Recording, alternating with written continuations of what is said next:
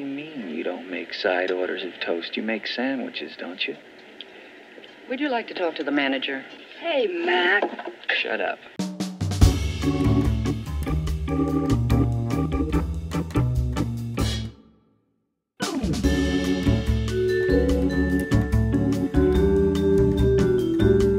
What was your first big success in Hollywood?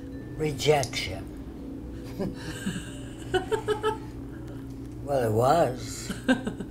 and uh, finally, I did five easy pieces and had to read for it. And then I wasn't hired.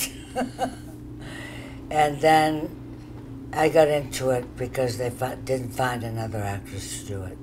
Fantastic that you could figure that all out and lie that down on her so you could come up with a way to get your toast. Fantastic. Yeah, well, I didn't get it, did I? No, but it was very clever. Do you remember any lines from it? I don't want to talk about it. I don't even want to talk about it. What's like the best celebrity poem you heard performed at Helena's?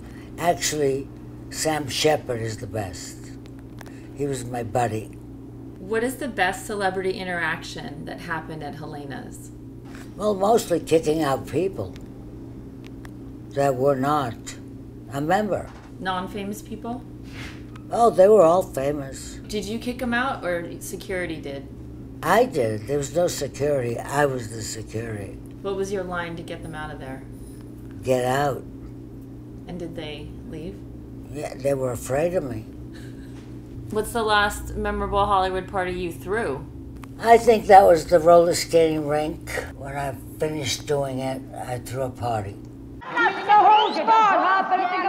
About that swag over your big mouth. How about right now? Sure, come on.